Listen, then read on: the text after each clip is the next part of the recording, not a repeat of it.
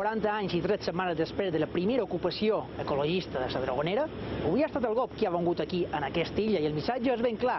Igual que se va salvar la Dragonera, ara és el torn de salvar Mallorca. Amb el lema Ocupem Mallorca, el GOP vol posar una marxa més en la seva reivindicació contra les conseqüències dels accessos del turisme al territori de les illes. Està sotmès ara mateix en el turisme sense cap tipus de control, sense que un govern d'esquerres estigui posant a damunt la taula les mesures valentes i decidides que requereix posar frens i posar límits en aquesta situació. Volem reivindicar l'esperit que fa 40 anys va ocupar la Dragonera per transportar-lo a la realitat de Mallorca i reclamar una implicació social i aquest esperit ecologista per salvar la situació que ara nosaltres entenem que és d'emergència, que estan vivint les illes, són meses aquesta pressió turística sense precedents.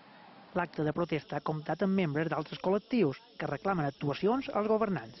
La part ecologista és la part que pertoca el GOP, però col·lectius com Ciutat per qui l'habita, eh, Terra Ferida, tot inclòs, i d'altres assemblees que estan sorgint de moviment ciutadà i veïnal per fer veure quines són les conseqüències, per demanar, reclamar alternatives i per exigir un decreixement turístic i un límits en aquesta activitat turística que ens està engolint. El GOP ha anunciat un calendari intens d'actes reivindicatius durant tot l'estiu.